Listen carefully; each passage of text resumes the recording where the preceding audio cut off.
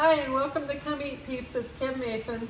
Tonight we're going to be making zucchini boats. We have all this fresh zucchini from the garden, bell peppers, some dried basil from the garden, and I didn't want to waste any of it. We're at the end of zucchini season, so this is what I love to do with zucchini boats because we're not completely sick of zucchini yet.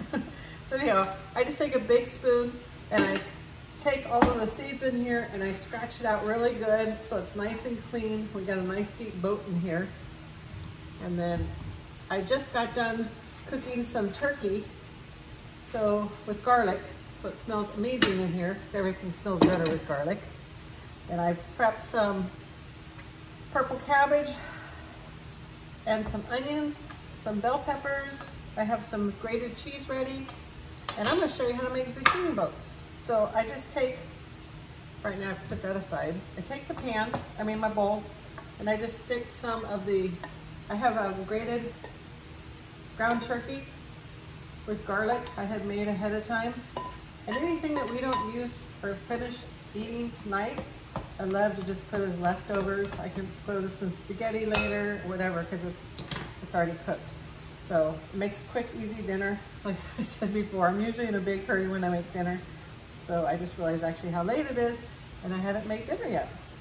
So, and then I take some of the onion, sprinkle that into the bell pepper, I don't like to waste the fresh cut produce. But we want to use it before a couple, I don't like eating anything that's not a couple days fresh out of the garden. And some of the dried basil, I just sprinkle that in here for a little bit of taste. We have quite a bit of it left over from the garden this year. And I mix up some pepper jack cheese, usually about a handful or two not a lot, but I like to leave some of this right here for the topping to put on top. And then I'm gonna sprinkle a little handful of feta cheese. I love the flavor of all this combined, two little handfuls. And then just start mixing it all up. And then we're gonna put all this combined together. You can put um, you can put some salsa in here. Um, salsa if you want to make it more of a Taco Tuesday type of zucchini boat.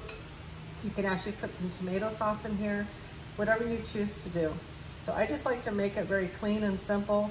I have some um, Italian seasoning in the ground turkey and I have um, some Mrs. Dash and obviously some garlic.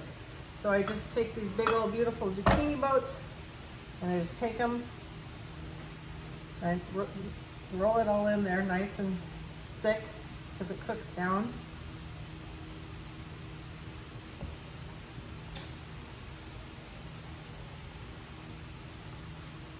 And then we're gonna put it on the pan and stick it in the oven. And there's your zucchini boats. And it's absolutely delicious. And then halfway through while it's cooking, I cook it at 350 for about 30, 40 minutes, depending on how um, soft you want your zucchini. It actually cooks up pretty good after a half hour at 350. And then halfway through, about 15 minutes, sometimes um, more 20 minutes, I'll come and I'll put the rest of the um, cheese on top and then I sprinkle it with a little bit more Italian seasoning, and mwah, it's delicious. So like I always say, come eat peeps and have a great day. Bye.